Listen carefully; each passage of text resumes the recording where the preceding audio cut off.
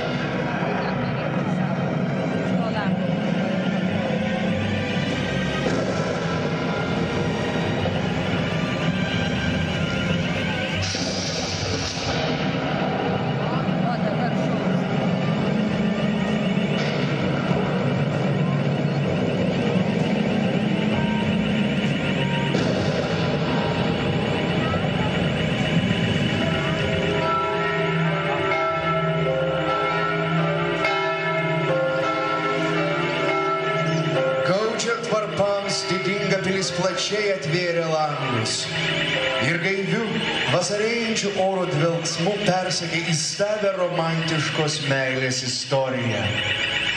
Istorija verta Šekspyro plunksnos.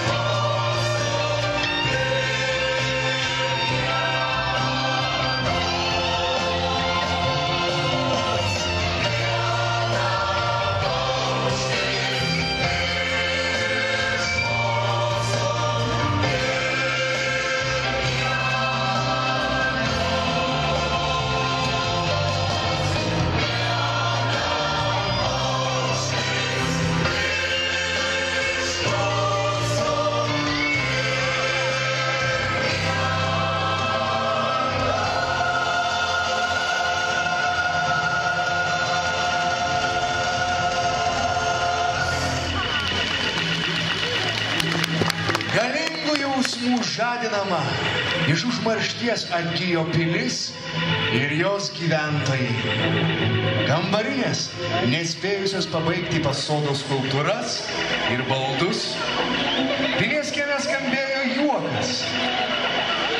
Aidėjo ir įtūžusios vyrėjos barnis. Ji pyko ant vyrėjo